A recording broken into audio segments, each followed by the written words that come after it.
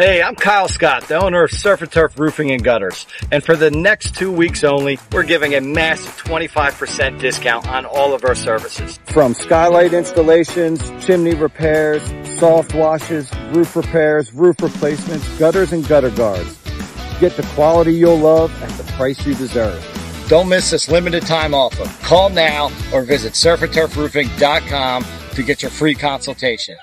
Still a below average day. Temperatures managed to briefly make it into the low 50s this afternoon, and this morning we continue to sit in the low to mid 30s. But as we head into the overnight hours, temperatures gradually start to fall back into those 30s. Right now, we're sitting in the middle 40s for most, between 44 and 47. But once again, mid to upper 30s for tonight. We could see a few areas of clouds passing by, but it should be mostly clear and quiet for the overnight hours, with an exception to the gusty winds. Winds gusting right now between 35 to 40 miles an hour for some spots, especially closer to the beaches where there's not as much surface friction to block the air movement. So that's why we are seeing higher gusts near the shore. But winds continue to stay gusty overnight between 25 and 30 miles an hour. Then throughout tomorrow afternoon, we continue to see gusty winds between 20, 25 miles an hour, some spots up to about 30 at times, but we'll gradually start to scale back as we head into tomorrow night. Winds finally starting to relax as that upper level trough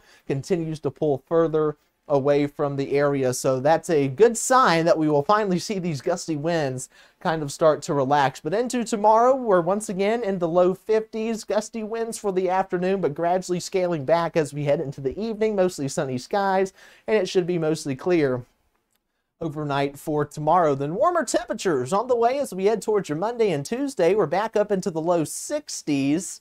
Uh, but then another system looks to come wreck our Thanksgiving Day plans because it's going to be another cool, blustery, and rainy Turkey Day. That's what it's looking like right now. There's still time for change, but go ahead and start planning for some unpleasant weather conditions for Turkey Day. And we look to stay chilly even as we head into next weekend, only staying in the low 40s.